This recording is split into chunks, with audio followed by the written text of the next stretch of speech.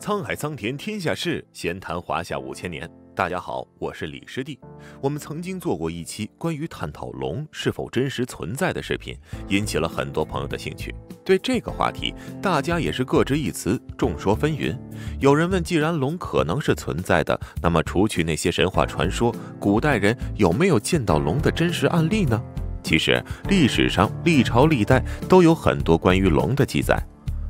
例如说，春秋时期，秦文公在一次打猎中就获得了黑龙；再例如说，唐朝中期，西川节度使韦高抓到过一条丈余长的龙。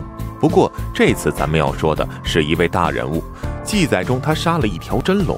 这个人就是辽太祖耶律阿保机。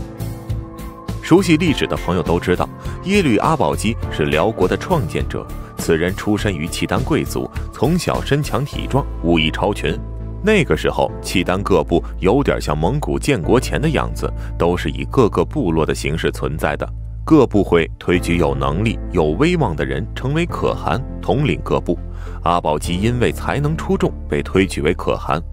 他就效仿中原王朝称帝，在公元907年建立了辽国。北宋时期，辽国几乎称雄了整个北方地区，实力甚至一度压制了宋朝。要知道，当时北宋的领土只有二百八十万平方公里，而辽国达到了四百八十九万平方公里。只是因为我国历史习惯于将汉族政权作为正统，所以我们的印象里，辽国才变得不那么起眼而已。公元九百二十年五月，辽国境内发生了一件非常奇怪的事。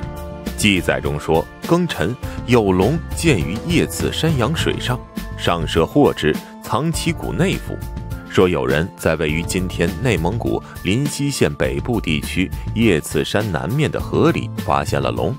辽史中的记载相对简略了些，但后人有详细的记载，说这条龙是黑色的。发现了龙之后，有人立刻将消息汇报给阿保机，阿保机立刻马不停蹄直奔事发地点而去，一直行了三天，这才赶到那里。而且那条龙居然还在，看上去长十余丈，三丈为十米，十余丈的话，差不多要四十米左右了。那真是巨龙了。阿保机将这条龙射杀，还将龙骨保存了起来。辽国皇帝杀了条龙，这件事在当时也引起了宋。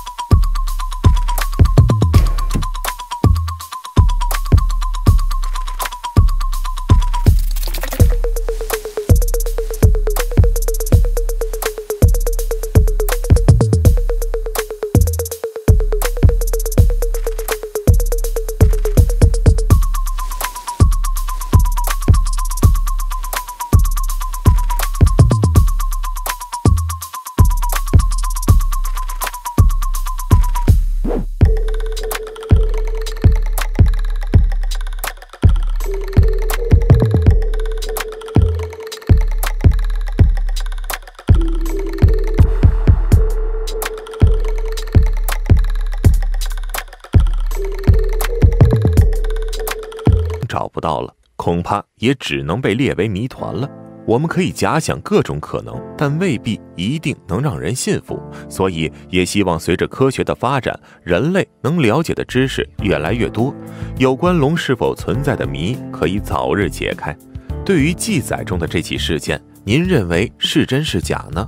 对于龙是否存在，您又是怎样的观点呢？期待您的留言，我们一起探讨。感谢您的观看，如果喜欢，还请您点赞、转发、关注我们的视频。咱们下一期再见。